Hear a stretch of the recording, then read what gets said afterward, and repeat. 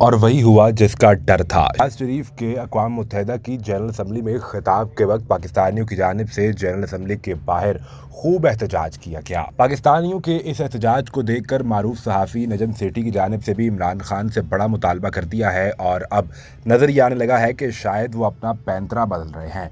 और इमरान खान से कह रहे हैं कि आप खुलकर फैसला करें कि आखिर आपने करना क्या है।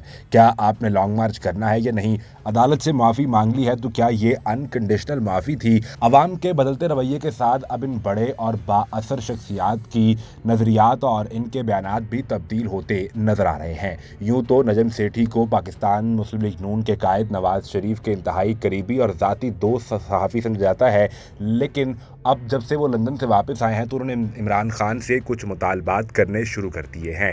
पाकिस्तान मुस्लिम लीग नून के वजी अजम शहबाज शरीफ ने अकवा मुतहदा की जनरल असम्बली में खिताब किया तो ऐसे में पाकिस्तानियों की जानब से खूब एहतजाज किया गया इस एहतजाज की वीडियोज़ इस वक्त सोशल मीडिया पर वायरल हैं, जिसमें देखा जा सकता है कि लोग इम्पोर्टेड हुकूमत नामंजूर के नारे लगा रहे हैं। लोगों के हाथों के अंदर प्ले कार्ड्स मौजूद हैं। इससे पहले जब शहबाज शरीफ अकवा मुतहदा की जनरल असम्बली से खिताब करने के लिए न्यूयॉर्क पहुँचे थे तो उनके इस्तबाल के तौर पर उस इस्तकबाली रस्ते के ऊपर तमाम पाकिस्तानियों की जानब से बैनर्स लगा दिए गए थे, जिसमें इम्पोर्टेड हुकूमत नामंजूर चेरी ब्लॉसम और शहबाज शरीफ की तस्वीर पर क्रॉस के निशानात मौजूद थे। इस अवामी रद्दमल को देख कर अब नजम सेठी की जानब से, इमरान खान से मुतालबा किया गया है कि आप आवाम को जो बता रहे हैं आवाम उसी पर अमल कर रहे हैं। अगर आपने लॉन्ग मार्च करना है तो आप डेट देते क्यों नहीं हैं? आपने डेट अपने हाथ में पकड़ी है और कहते हैं कि डेट मेरे हाथ में है, मैं इसका ऐलान अचानक कर दूँगा। चौबीस पच्चीस तारीख हो चुकी है, आपने सितंबर के आखिरी हफ़्ते में लॉन्ग मार्च का ऐलान किया था और आपके करीबी हल्के ये बताते थे कि 25-26 सितंबर तक लॉन्ग मार्च का आगाज़ हो जाएगा। अगर आपने अभी तक ऐलान नहीं किया तो इसकी तैयारी कब की जाएगी।